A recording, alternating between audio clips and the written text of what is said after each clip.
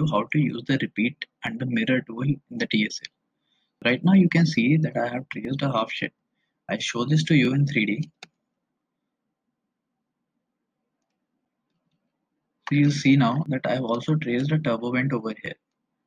I'll go back to 2D.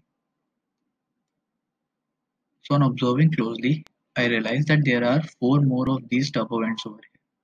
So I want to trace them. So avoiding tracing them again and again, I can use them. Uh, I can use my repeat tool.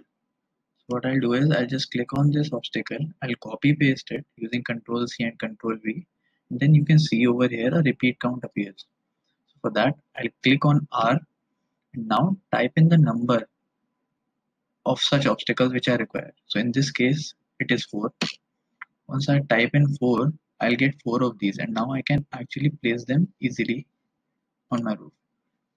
I'll go back in 3D. So here you can see with the help of repeat tool, I have placed 5 of the turbo vents easily. I'll go back to 2D.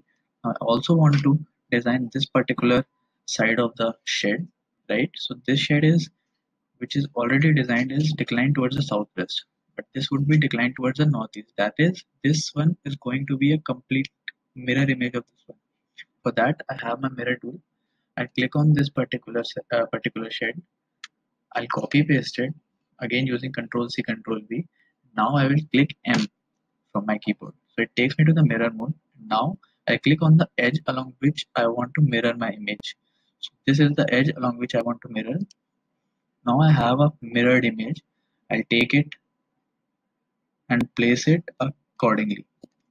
I'll show that to you again in 3D so you'll see a complete shed has been realized using the mirror as well as repeat tool